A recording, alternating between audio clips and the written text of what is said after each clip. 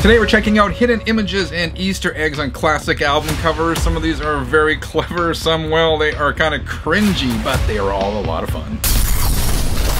Iron Maiden had some of the coolest album covers, particularly the 1980s stuff done by Derek Riggs. One of the more intricate covers from this era was 1986's Somewhere in Time, which contains at least 36 hidden details, Easter eggs, and inside jokes. Here are some of my favorites, starting with the front cover. Designer Derek Riggs' signature logo can be found as a badge in the center of Eddie's chest. For the uninitiated, Eddie is Maiden's monster mascot. Here, Eddie is standing next to a sign that partially reads Acacia, a reference reference to the song 22 Acacia Avenue. Someone graffitied Eddie Lives over this poster of Maiden's self-titled debut album. Torn posters also appear on the covers of The Sanctuary and the Women in Uniform singles. To the left of Eddie's gun, you can see a neon eye of Horus. The title track from Maiden's Power Slave album references this Egyptian symbol. The trash can on the lamppost here is just like the one on Maiden's debut album. The black cat with the halo also appears on the back cover of Live After Death. There are plenty of Easter eggs on the back cover of this album as well. The clock reads 2358 or 2 minutes to midnight, a nod of course to the Maiden song. The opera house is called Phantom Opera House. On their first album, Maiden had a great track called Phantom of the Opera. Aces High Bar is of course a reference to the song Aces High. So is the Spitfire airplane flying above the bar. In the skies beyond the cityscape, you can see a pyramid, a nod to the Power Slave album cover. The Grim Reaper makes another appearance. He can also be seen on the Trooper and Live After Death covers. This woman in the red lit room is a reference to Charlotte the Harlot, who is mentioned in some of the band's songs and who frequents 22 Acacia Avenue. Singer Bruce Dickinson is holding a brain, a reference to the Piece of Mind album. And finally, here's a sign for the Ancient Mariner Seafood Restaurant, a nod to Rime of the Ancient Mariner off the Powerslave album. And that is just a sample of the hidden images on this album cover. I could probably dedicate a whole episode to delving into everything that's going on here, and I may very well do that. There is a pretty cool hidden image on Fleetwood Mac's 1982 album Mirage. Take a close look at Lindsey Buckingham's and Stevie Nicks' joined hands. When you do, the hands disappear and you see the profile of an old woman appear. The shading on Stevie's knuckles roughly makes up the woman's squinty eye, and her nose is formed by Lindsey's thumb and palm. Stevie's thumb helps define the mouth and the chin.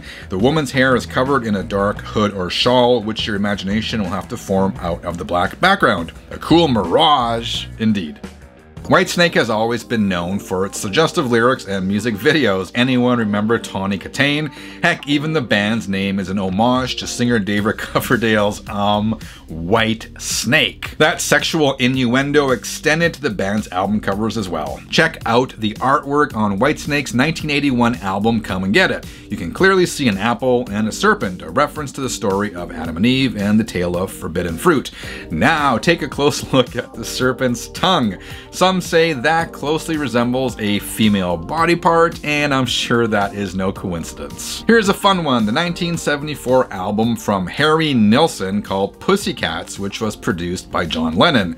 Look under the table. You see the letter D, and then a rug, R-U-G, then the letter S. Together, that forms the word drugs, D-R-U-G-S.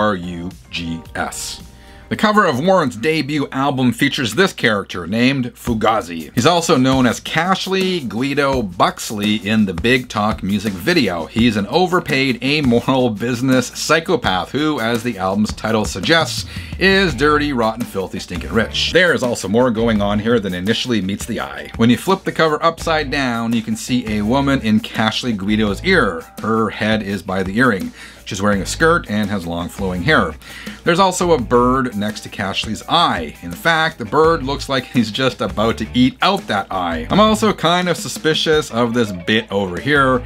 I have some ideas about what it's supposed to be, but what do you think? Let me know in the comments. A lot of people miss this one. That is the hidden images in the clouds on Black Sabbath's 1978 album Never Say Die. Take a close look. You can see faint, ghostly images on both the front and back of the album jacket.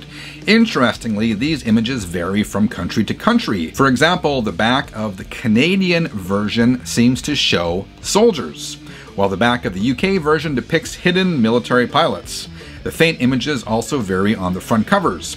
For example, this image, which may be a satellite dish or a UFO, is missing from other pressings. On the front of my Canadian copy, I can make out a faint image of what appears to be a man right there, and I can't quite make out what this one is. The cover of Def Leppard's 1993 retroactive album is one of those images within an image pieces of art. At face value, it shows a lady sitting at a dressing table looking in a mirror, but if you look at it a different way, the image takes the form of a skull with a woman's head forming one eye socket and her reflected head in the mirror forming the other eye socket. Variations on this theme appear on other album covers as well, including Aerosmith's Devil Got a New Disguise and Cher's Heart of Stone. The Cher one is pretty cool. At face value, it's an image of her scrunched up beside a heart of stone, but from a different perspective, it's the side view of a skull. Here's one that has fooled many people over the decades. Lots of folks assume that the person wearing tight red leather pants on the cover of Loverboy's 1981 album Get Lucky was singer Mike Reno or maybe guitarist Paul Dean, but that assumption would be incorrect. The model was actually a 13 year old girl, the daughter of the photographer who shot the cover. Obviously, it's not her arm though, that belonged to an Argentinian male model hired apparently because of his big hands. It's not exactly a hidden image, but there is definitely more to this album cover than meets the eye. If you dug this episode, you should check out my other videos exploring classic album covers. I'll leave a link to that playlist on the screen right here and in the video description. I'll see you there in a couple of minutes. Until then, dear 33ers, keep on spinning.